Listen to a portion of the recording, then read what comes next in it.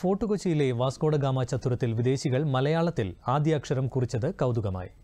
മുൻ അധ്യാപകനും കേന്ദ്രമന്ത്രിയുമായിരുന്ന K V Thomas ഗുരുവായി. ദൈവത്തിന്റെ സ്വന്തം നാടായ കേരളത്തിന്റെ തനതു ഭാഷയിൽ അക്ഷരം കുറിക്കാൻ കഴിഞ്ഞതിൽ സന്തോഷം സ്പെയിനിൽ നിന്നുള്ള സിമോണ പങ്കുവച്ചു.